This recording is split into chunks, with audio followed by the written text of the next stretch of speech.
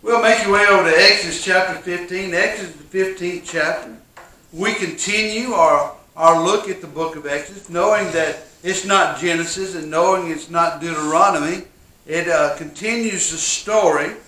And so far we have gotten the children of Israel uh, by the mighty hand of the Lord out of Egypt and away from, at the end of Exodus 14, away from the pursuit of Pharaoh. Uh, that's where we start at. If you found Exodus 15 1, say amen. amen. Then Moses and the children of Israel sang this song to the Lord and spoke, saying, I will sing to the Lord, for he has triumphed gloriously. The horse and its rider he has thrown into the sea. The Lord is my strength and my song, and he has become my salvation. He is my God, and I will praise him, my Father's God, and I will exalt him. The Lord is a man of war. The Lord is his name. Pharaoh's chariots and armies has been cast into the sea. His chosen captains also drowned in the Red Sea. The depths have covered them, and they sank to the bottom like a stone. Your right hand, O God, has become glorious in power. Your right hand, O Lord, has dashed the enemies in pieces. And in your greatness of your excellence, you have overthrown those who rose against you. You have sent forth your wrath, and it has consumed them like, a, like stubble. And with the blast of your nostril, the waters were, together, uh, were gathered together. The flood stood upright like a heap, and the depths congealed in the heart of the sea. And the enemy said, I will pursue, I will overtake, I will divide the spoil, but my desire shall be satisfied on them. I will draw my sword my hand shall destroy them. You blew with your wind, and the sea covered them, and they sank like lead in the mighty water. Who is like you, O Lord, among the gods? Who is like you, glorious in holiness, fear and praise and doing, fearful in praise and wonder doing? You stretch out your right hand, and the earth swallows them. You, in your mercy, have led forth the people whom you have redeemed. You have guided them in your strength to your holy habitation. Let's pray.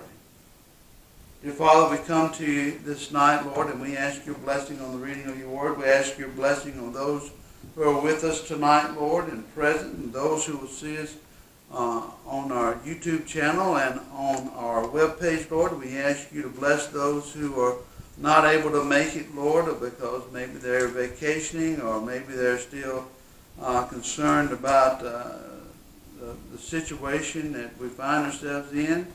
But Lord, whatever it is, Lord, as they hear the sound of your word, Lord, may they respond mightily to one who deserves honor, glory, and praise.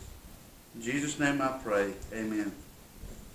Having seen uh, this great work what the Lord had done in Israel, a great fear rises among the people of the Lord. Remember, the whole idea here is God was going to have a relationship. They were going to experience God. Whether you were uh, Israelite or whether you were Egyptian, you were going to experience God. The Egyptian experience was that he had overthrown them and they were devastated. The Israelite experience was that they were elated at the mighty, complete victory that God had won for them. And this causes them to sing. Uh, and so much so that Moses or his sister Miriam or the women, one or the other, look to verse 20. Then Miriam, the prophetess, the sister of Moses, a sister of Aaron, took the timbrel in her hand, and all the women out after her with timbrels and were dancing. And Miriam answered them. Right here, the song is sung, and now Miriam is caught up with the dancing and trembling, and the women are dancing and with the timbrels. And they sing, Sing to the Lord, for he is glorious. The horse and rider he is thrown into the sea. You can see instantly that this worship and praise has affected the whole entire congregation. It is nothing like seeing God do his work. It gets folks excited. And the experience that they had as a group, some uh, anywhere from 600,000 to 2 million, estimates vary that wide, folks saw in hot pursuit death coming their way. Remember, they had no idea that Pharaoh just wanted to come get them back into slavery. Uh, Uh, again, that's why he sends out his horses, uh, chariots, his fastest chariots. That's why they have the captains, these leaders, these folks who can make decisions on them. That's why his horses are involved. He's trying to get around and in front of them and cause them to halt and lead them back into captivity so that uh, the devastation economically that was coming because they had moved out uh, would not affect Egypt. So, but they thought they were going to die. And some of them may had died in all of that. But they see a complete victory happen. And Moses begins to sing. Now, our songs, whether in our hymn book or whether in our Bible, right, we, they must be important. We have a song here. We have a whole book dedicated to songs. And we even have songs of Solomon. So we have plenty of songs, but they have to be theologically correct. So Moses is going to be theologically correct. Now, not everything you sing in a hymn book is theologically correct. Not everything you hear on that uh, that they sing uh, on the radio on the popular channels. Now it makes a good tune. You can dance to it, but it's not always theologically correct. So whether we pick out our songs in our hymn book, or we choose to listen to our our spiritual music on the radio, uh, are we teaching, or we're pastoring, or we're uh, sharing the gospel, we want to be theological. That is, have God thoughts and be Christ centered and, and Bible centered on what's going on. So here Moses begins in his experience with God to lay out in worship his understanding of God and his people understanding of God. He says, I will sing to the Lord. Well, okay, I'm going to lift up my voice to Yahweh, the covenant keeping God. For, you know, here's it is. I'm going to do this, and this is the reason why I'm going to do it. He has triumphed gloriously. Not just triumphed a little bit, but triumphed over and above what was ever asked, thought, or imagined. Remember, that's how God is. That's biblically sound. Remember, the word glory means heavy, right? So when we say God deserves glory, it is that God deserves heavy thought and and heavy concentration and, and, and, and serious understanding. So he triumphs gloriously. Heavy is his victory. So, and the horse and the rider he has thrown into the sea. All the power and all the strength, the lightning capability of the Pharaoh's army, that thing that was most dreaded, especially those chariots, they were something in chariot warfare. They were a superpower back in that day, and how they got to be superpower uh, was not that they had an atomic bomb, but they knew how to use those chariots and those drivers, and how all of that was that thing that was their strength was dealt with. And what happens because of what God has done? Watch this, three S's. The Lord is my strength, right? So, biblically understanding this, this is who God is. He is the nation of Israel's strength. He is the believer's strength.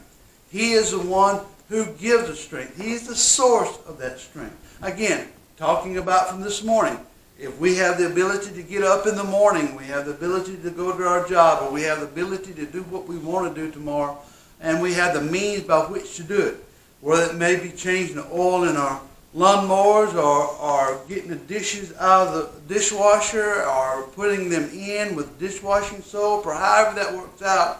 Uh, the strength that we have all comes from God. He is our strength. That's why in the middle of the, the worst circumstances, we don't have to rely on ourselves, right?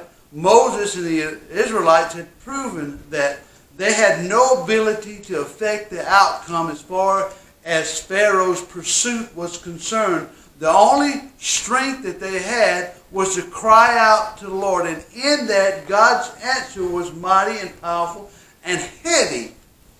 Heavy was his triumph over them. So the Lord becomes their strength, no longer depending. Now, they don't last long, but hey, don't feel bad about them. Remember, we're to look to them as examples. We often don't last long ourselves, right? We hardly ever recognize God as our source or our resource or our strength unless we're in dire need. And then when we get out of the trouble that we're in, either uh, through hook or crook or his salvation, however that works out, we often forget that he's our strength and we owe him anything. So don't feel bad for them. Feel bad for us that we forget this lesson that has gloriously played out here in, in these previous chapters leading up to uh, chapter 15. So the Lord is my strength and my song. Well, what would happen when we sing a song? Well, He is the one who is worthy of our, our, poetry, worthy of our attention, worthy of our affection. That's how that works out. You know, there have been a lot of songs dedicated to a lot of women over this year, over this over this lifetime that I've had. Charlene, you know, you're the one, the mother God, you know, that one, and and then what did uh, John Anderson? El, not Elvira, but what was the other one? Uh, eyes that look like that is oh, Elvira. The Oak Ridge Boys sung that one, Elvira, and then they sit on the front porch in the swing, just a swing. Now, what's that name? Just a swing. Just a swing. And who's the girl? Little Charlotte. Right? There's been plenty of, we, have had plenty of people, and, and forgive my 80s and 70s, forgive it, that's, that's where I'm locked in at, baby. And I'm in that. There have been plenty of songs dedicated to love interest. Here, Moses experienced, the Israelites' experience with God has caused them to begin to understand that this God is worthy of their love and adoration and should be a focal point of their poetry and their literary prowess, such as it is, thinking that this is in its infancy and thinking that this is the first time we realize anybody sung a song to God right here that we have recorded. God's become the center of their attention. But not only he's the strength and he's become their song, their focus, he's their source and now he's their focus, but he's also become my salvation. Again, in the very strictest, earliest sense of salvation, they want a military victory. Now, we have the whole Bible to change the idea from a physical victory to a spiritual victory as far as salvation is concerned. But here we see that God's able to accomplish exactly what he said he would do. He said that he would get them out, and he did. It didn't always look like they were going to go out. Sometimes it looked like uh, it was going to get worse before it got better. But ultimately, God became their salvation. So who is going to complete us, who's going to strengthen us, who we're going to put attention to. It's all going to be God. This is their realization of who He is. And He is what? Now He's claimed to be my God. And I will praise Him personally. I, I'm going to give up part of my time, part of my life to this. My Father's God, right? He's been here around for a long time, and He's proved Himself to my Father, and I will exalt Him because he's proved himself to, to me. By the way, you can think that a lot. You know, I'm, I'm becoming a grandfather. Some others are becoming grandfathers. Some have become grandfathers and grandmothers. And the same God who kept you, bless his name, is going to be able to keep that generation coming up. That's what it means to be from everlasting to everlasting. You don't have to worry about it. You put those children right in the hand of God and you watch them. You train them up in the way they should go, and when they are old, they won't depart from it. Why is that? Because that's a promise from Him who's from everlasting to everlasting, who keeps His word. The Lord is a man of war. Now again, that word Lord there is the word Yahweh or, or Jehovah, and it's the covenant name of God. So his covenant God is a man of war. It's the same idea as we call him Jehovah Sabaoth, or the Lord of hosts, or the Lord of armies. They begin to realize that. We'll see it over Joshua talks about him being the Lord of hosts. We'll see that whole idea, the armies of heaven, all of these things, we'll see them played out over and over again in the Bible. But we start the idea of him being a man of war here, and this is part of his character. Who's going to fight for you? Well, all-time champion of, the world. He'll fight for you. That's what he does. Who is he? The Lord is his name. Then they encapsulate what happened. Pharaoh's chariots, chariots in his army he is cast in the sea. His chosen captives, those leaders who, who should have been able to outfox and outsmart and out-strategize everything that was going on. Again, chosen captains, these were leaders who could make individual decisions of their individual chariot. Right? Those people who could have said, you know what? It's not a good idea for us to go down in there just because they told us to go in there. Right? These are people say, well, you know, maybe we need to have a few people in reserve in case they come back out. you know, something. These people were sucked right in the middle. These people who could have made a difference in battle. These people also were drowned in the sea, and the depths have covered them. Think about this. The idea here of the depths covering is that there was a whirlpool action, and they sank to the bottom like a stone. We'll find them. Your right hand, O Lord, has become glorious in power, right? We remember the right hand is a hand of power, and, and, and he's shown himself to be powerful. And, and looking at what he's done, the Israelites, Moses, they see that there's glorious power, not just a little bit of power, but glorious, heavy, weighty power in his hands. Again, this is God who changes not. This is God who's the same yesterday, today, and forever. He still has that kind of power in his hands. Uh, your right hand, O Lord, has dashed the enemy to pieces. And in the greatness of your excellence, you have overthrown those who rose against you. Here were those who were going to uh, have something to say to you and somebody who was going to rebel against you, somebody who was going to be able to stand up against you. And, and you, without much effort at all, have overthrown them. We'll see this whole thing play out again. When? Book of Revelation. World armies are going to gather together. They're going to stand mightily with all the mighty weapons and, and shake their fist and hurl their insults and all that stuff. And it will be no more problem for him to get rid of all the world's army and all of its technological advances as it was for Moses and Pharaoh. There's nothing that he won't be able to do with that. Uh, you send forth your lad. You consume them like stubble. And the idea, idea there you need to think about is more like a bubble. There's a bunch of gurgling going on. Okay? Gurgling is the word we want to use there. So you can just hear like them going down the drain in the whirlpool and that idea. And with the blast of your nostrils. Now they're they're you know, God's spirit, but they're they're giving him hands. You know, this is how they convey what they're doing. And, and now a blast of his nostril, talking about the east wind. You know, they're doing that. And uh, flood uh, stood upright like a heap or, or like a wall, and the depths congealed. It becomes firm at the heart of the sea. The enemy says, this is what I'll do. I'll pursue. I'll overtake. I'll divide the spoil. My desires shall be satisfied. I'll draw my sword my hand shall destroy them. I've got all this under control. And you blew your wind, and the sea covered them, and they sank like lead, stone, lead.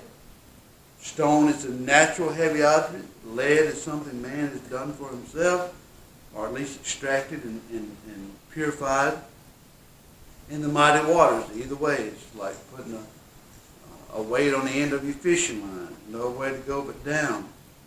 And he said, now watch this, this is interesting. And then we'll need to finish up. Who is like you, O Lord, among the gods? Now, at this point, the Hebrews are not monotheistic. They don't have that one God mentality. They don't really learn anything about having a one God mentality until Exodus 20 when he begins to give the Ten Commandments. Here, Remember, God himself said, I'll destroy the gods of Egypt. He's just one of many gods. But here's the idea about this, for them it's beginning to form, that though they not, may not be monotheistic right now, right? And we're monotheistic. We don't worship a bunch of gods. We worship God the Father and, uh, you know, and his different personifications there, the Father, Son, Holy Spirit, right? Three gods, three in one, or one in three, however you want to do that, the triune Godhood. Um, that's who we worship. Here, they may not have that same idea, but they're beginning to dawn on them that the God that took them out of Egypt is unlike any other God. In my Bible, it's a little g. It's like, unlike any other idol, unlike any other thing. It's monolatry. I didn't say it right. It's M-O-N-L-A-R-T-Y. It's like idolatry, but it's monology. Uh, they begin to understand that, that this God they worship is above all. Pretty soon they'll realize that there is no other God but Him. But here, at least they're beginning to think that, that this God needs to be elevated above everything else they've encountered. There were hundreds of gods in Egypt. Generation after generation of Hebrew watched the Egyptians worship them. They may have even fell down for a few ceremonies themselves, but they're beginning to understand that whatever was there to hold them back, whatever he come up against, those ten plagues uh, wiped out and, and uh, took care of anything like that. Uh, who is like your your glorious and uh, your glorious in holiness, fear and praises and doing wonders. You stretch out your right hand, the earth swallow them up, right? They just disappear. You in your might have led forth uh, have led forth the people whom you have redeemed. Who got us out of there, right? Wasn't Moses. You did it yourself. You redeemed them. You said you would redeem them. You redeemed them. You have guided them in your strength to your holy habitation. You've done all this stuff. These next verses here talk about uh, what's going to happen in the promised land. We followed you out of Egypt. Now we're going to follow you into the promised land. It talks about uh, the people will hear and, and be afraid and anguish will take hold of the inhabitants of Philistia. The chiefs of Edom will be dismayed. The mighty men of Moab, trembling, will take hold of them. All the inhabitants of Canaan will melt away before you. And just think about this. If they have not messed this up and had to walk 40 years, if they would have went with this right here, they would have marched right in to the promised land and been able to accomplish this 40 years earlier than what they had to do if they just remembered this is the God they serve. By the way, if you remember this is the God you serve, you may not have to walk around in the wilderness yourself. Fear and dread will fall on them by the greatness of your arm. They will be as still as stone to your people pass over, O Lord. To your people pass over, whom you have purchased you will bring them in and plant them in the mountain of your inheritance, in the place, O Lord, which you have made for you, uh, for your own dwelling, the sanctuary of the Lord, which your hands have established. The Lord shall reign forever and ever. For the horses of Pharaoh went out with his chariots and the horsemen into the sea, and the Lord brought back the waters of the sea upon them. But the children of Israel went on dry land in the midst of the sea. So, him being identified as their strength, their source, their song, their focus, their salvation, their completeness. This is the God that we need to remember. And this is the God that they'll encounter again and again till they finally get it right and get off into the promised land some 40 years down the road. Let's pray. Father, thank you for your word. May we worship you as our strength and our song. Understand that you have completed our redemption and have saved us, Lord. I pray, Lord, that we will run up against nothing that will cause our heart to faint, but cause our, our minds to remember uh, exactly who you are, Lord, and to be still and know that you're Lord. Lord, bless us as we go forward tonight. In Jesus' name I pray.